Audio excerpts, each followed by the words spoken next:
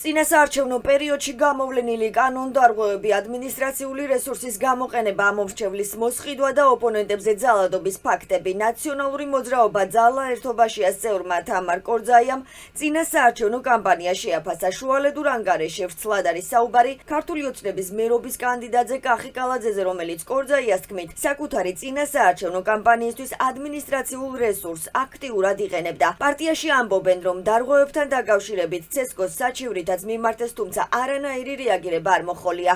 ანგარიში საუბარია კრიტიკული მედიის მიმართ ძალადობის ფაქტებზეც. ქართულმა ოცნებამ წინა საარჩევნო კამპანია ჩაატარა უკიდურესად დაძაბულ ვითარებაში. მან საარჩევნო კომისიები დააკომპლექტა კანონდარღვევით და შეასრულა იმ ხალხით, რომლებიც მას სურდა. წარმოუდგენლად დიდი მასშტაბით გამოიყენებდნენ ადმინისტრაციულ რესურსს და ამომრჩევის მოსყიდვის შემთხვევები ქონდა ძალიან ბევრი. განსაკუთრებით ამას აქტიურად იყენებდა თბილისის მერობის კანდიდატი კახი კალაძე, რომელიც ყველა რესურსს ხარჯავდა საარჩევნო კამპანიისთვის. არიგებდა ფულს ზუსტად წინა საარჩევნო კამპანიის პერიოდში და არა მხოლოდ თანხებს, ანუ რაღაც პრემიის და ჯილდოს სახით, ასევე გადაცემდა ქონებებს.